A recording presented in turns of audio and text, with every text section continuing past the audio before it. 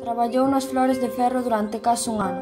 Foi o mellor traballo da súa vida, e cando rematou un cargo chegaronlle moitos máis. Quen tiña algo de diñeiro quería que a súa casa imitase a do indiano, pero non volveu facer nada igual. El encárgase de repoñer as flores unha vez por semana e de manter prendida a candea que ilumina a foto e imaxe da santa.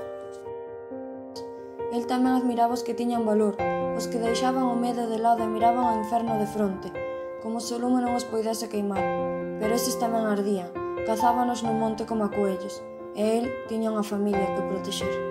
Mirou aqueles ollos grises como o mar en días de treboada, os ollos de Santiago.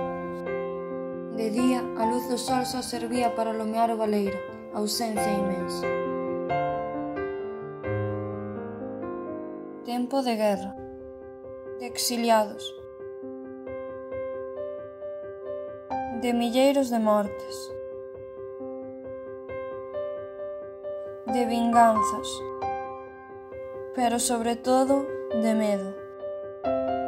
Flores de Ferro é un libro que recrea a historia dunha época dura, onde reinaban as mentiras, os enganos, os fuxidos e a crueldade. Un libro que che fai empatizar con Camila durante o seu proceso de acadar a verdade, Un libro que che fai pensar en cantas flores de ferro hai polo mundo, mulleres loitadoras e fortes que o dan todo polos seus, que axudan a quen o necesita.